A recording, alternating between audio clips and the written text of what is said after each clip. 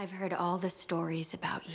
But falsely resurrecting a missing child to get back at Blake? How heartless can you be? What are you raving about?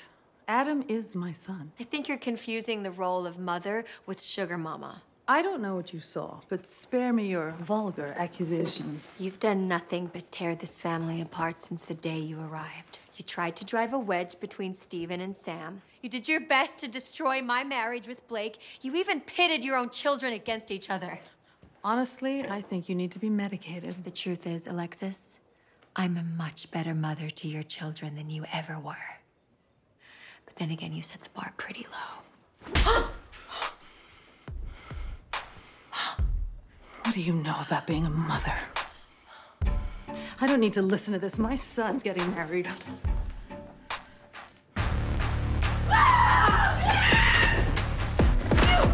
Crazy bitch! Get off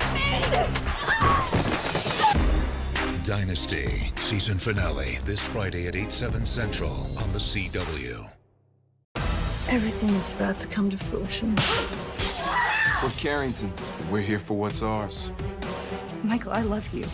There's no need to do anything crazy. Call me that again, it'll be the last word you ever say. This is how dynasties are ruined. No, this is how new dynasties are born.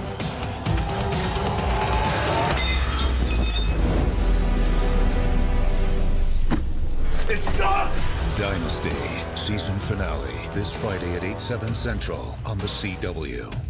Thanks for watching. Subscribe to the CW to see more from Dynasty.